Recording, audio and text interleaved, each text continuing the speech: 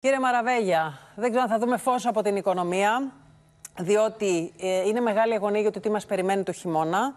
Ε, βλέπουμε ότι υπάρχουν προτάσεις ε, για διάθεση ενέργειας με κουπόνι στην Ευρώπη τους επόμενους μήνες και ότι αναμένουμε στις 20 του μηνός, κυνηγά και ένα κουνούπι, συγγνώμη, το σχέδιο έκτακτης ανάγκης της Κομισιόν. Τι χειμώνας λοιπόν μας περιμένει κύριε καθηγητά; Κοιτάξτε, εάν ε, ο Πούτιν ε, πραγματοποιήσει την απειλή του ότι θα σταματήσει οριστικά την παροχή φυσικού αερίου γενικώ καυσίμων στην Ευρώπη, προφανώς τα πράγματα θα είναι πάρα πολύ δύσκολα. Υποθέτω ότι μπορεί και να το κάνει, διότι έχει ήδη συσσωρεύσει αρκετά πλεονάσματα από τις υψηλές τιμές ε, των καυσίμων που πουλάει τόσους μήνες τώρα και θέλει να χρησιμοποιήσει αυτή τη μέθοδο ως ένα διαπραγματευτικό όπλο εναντίον των κυρώσεων της δύσης. Είναι λοιπόν πολύ πιθανό να συμβεί αυτό. Το ζήτημα λοιπόν είναι πώς ε, η Ευρώπη θα αντιμετωπίσει αυτή την κατάσταση. Σας λέω με τα βεβαιότητας, σχετικής πάντοτε βεβαίως γιατί στα οικονομικά βεβαιότητες απόλυτες δεν υπάρχουν, ότι τα πράγματα θα είναι πολύ δυσκολότερα στη Βόρεια Ευρώπη και κυρίως στη Γερμανία, η οποία είναι, είναι η καρδιά Περισσότερο της εξαρτημένη. Είναι η συμφωνία της κυρίας Μέρκελ. Και, και, και είναι και τεράστιες οι ποσότητες που χρειάζεται. Προφανώς διότι είναι πολύ ισχυρή ε, η οικονομία με πολύ μεγάλη βιομηχανία. Και λιγότερο το πρόβλημα θα υπάρχει στις νοτιότερες ευρωπαϊκές χώρες και ιδίως στην Ελλάδα. Γιατί; Διότι το μειονέκτημα που έχουμε να μην είμαστε βιομηχανικές χώρες και να εξαρτώμαστε περισσότερο από τις υπηρεσίες και τον τουρισμό και την εστίαση κλπ. Αυτό αυτή τη στιγμή γίνεται πλεονέκτημα. Όπως δηλαδή με τον κορονοϊό ε, είχαμε πάθει μεγάλη ζημιά ακριβώς από το γεγονός ε, του ότι είμαστε εξαρτημένοι από τον τουρισμό, τώρα μπορεί κανένας να πει ότι είμαστε σε πλεονεκτική θέση. Οι τιμές στην ενέργεια, στα καύσιμα, στα τρόφιμα είναι ήδη πάρα πολύ ψηλά. Αυτό θα συνεχιστεί και την ερχόμενη χρονιά και από χειμώνα έτσι θα πάμε και θα έχει και περαιτέρω αυξήσεις; Εκείνο που προσπαθώ να, να πω και νομίζω πως ε, έτσι θα είναι, είναι ότι θα, πιθανότατα θα γλιτώσουμε το δελτίο.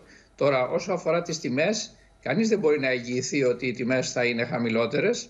Σας βεβαιώνω γι' αυτό. Ε, αυτές οι διακοιμάσεις που βλέπουμε τώρα προς το καλύτερο, πολύ σωστά είπε η κυρία Ζάγκα, ότι πέφτουν οι τιμές, στο, αυτό οφείλεται στο γεγονός ότι υπάρχουν κάποια σημάδια ύφεσης σημάδια όμως τα οποία δεν είναι καθόλου βέβαιο ότι θα, ότι θα αξιολογηθούν και στη συνέχεια. Δηλαδή μπορεί αργότερα να έχουμε πάλι μια αύξηση των τιμών.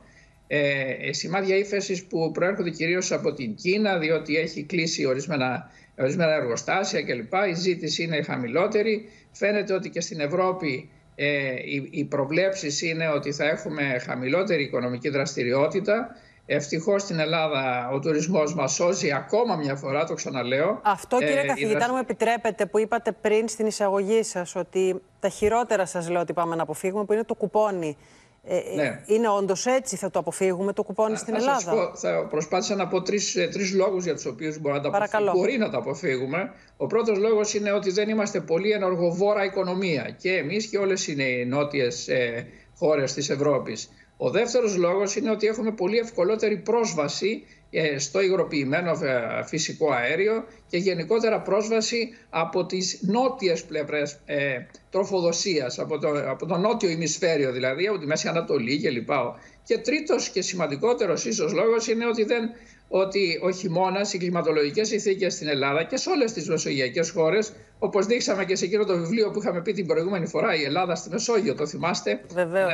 Νομίζω ένα βιβλίο πολύ ενδιαφέρον. Ε, αξίζει τον κόπο να διαβαστεί. Έλεγα λοιπόν ότι ε, οι κλιματολογικές συνθήκες είναι τέτοιες που δεν μας ε, επιβάλλουν ε, τόσο πολλές, ε, πολλές ανάγκες για, για ενέργεια, οικιακή τώρα πλέον ενέργεια, έτσι. Ενώ αντίθετα στις βορειότερες χώρες αυτό είναι είναι δεδομένο. Πάντως λοιπόν, δεν μπορεί να πει, κύριε καθηγητά, από ό,τι αντιλαμβάνομαι, ούτε εσείς μπορείτε να το πείτε με βεβαιότητα, ότι έχει αποσοβηθεί πλήρως αυτός ο κίνδυνος. Όχι. Σας είπα ότι πάντως είναι βέβαιο ότι θα, θα, θα είναι καλύτερα τα πράγματα στην Ελλάδα από ότι εννοώ από πλευράς δελτίου, από πλευράς κουπονιού, που λέτε, σε σχέση με, την, ε, με τη Βόρεια Ευρώπη και τη Γερμανία. Αυτό μπορεί, μπορεί κανένας να το καταλάβει πολύ εύκολα αν ε, δει τα δεδομένα. Έτσι. Άλλο ένα ερώτημα. Η συγκυρία, το είπε προηγουμένως και η κυρία Ζάγκα, έχει και την υποχώρηση του ευρώ έναντι του δολαρίου. Γιατί υποχωρεί τόσο πολύ και τι προκαλεί αυτή η υποχώρηση; Αυτό νομίζω ότι αξίζει τον κόπο να το καταλάβουν οι, οι τηλεθεατές μας.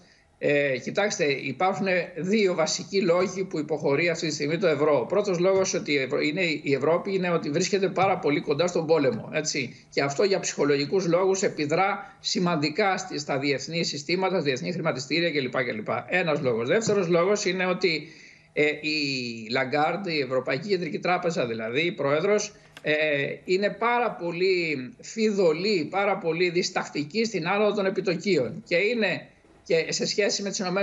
Δηλαδή τα επιτόκια εκεί στις ΗΠΑ ανεβαίνουν και τρέχει ο κόσμος. Ο κόσμος. Ε, οι χρηματιστές εννοώ και το χρηματοπιστωτικό σύστημα τρέχουν για να κερδίσουν από τα υψηλά επιτόκια. Ενώ στην Ευρώπη τα επιτόκια είναι ακόμα χαμηλά. Αυτός είναι ο, ο, ένας πολύ σημαντικός δεύτερος λόγος. Θα μου πείτε τώρα η κυρία Λαγκάρντ και η Ευρωπαϊκή Κεντρική Τράπεζα γιατί δεν ανεβάζει τα επιτόκια γρήγορα όπως τα ανέβασε η, Ευρωπα... η, η Αμερικανική Τράπεζα. Δεν τα ανεβάζει για δύο επίσης λόγους.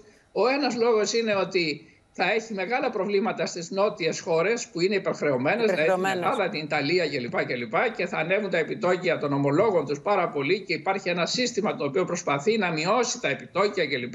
Να μην μπούμε σε λεπτομέρειες. Και ο δεύτερος λόγος είναι ότι η ανάπτυξη στην Ευρώπη είναι πάρα πολύ διστακτική σε σχέση με τις ΗΠΑ. Οι ΗΠΑ δεν πολύ φοβούνται. Άρα υπάρχει αυτή η ανισορροπία. Και θα το δουν και στη, στη ζωή τους οι άνθρωποι. Για του Αμερικανού θα είναι πολύ πιο εύκολα τα ταξίδια, οι αγορές. Ενώ σε εμάς το αντίθετο. Έτσι, έχουμε, βλέπουμε μείωση της τιμής του, της, ε, τιμής του συναλλάγματος, δηλαδή της τιμής του ευρώ. 12 ε, με 14% είναι τεράστια η διαφορά. Και έχει δίκιο η κυρία Ζάγκα και λέει ότι αυτό μας επιβαρύνει, διότι αγοράζουμε τα περισσότερα προϊόντα και τα καύσιμα κατά κύριο λόγο σε δολάρια. Αλλά όχι μόνο τα καύσιμα και άλλα προϊόντα.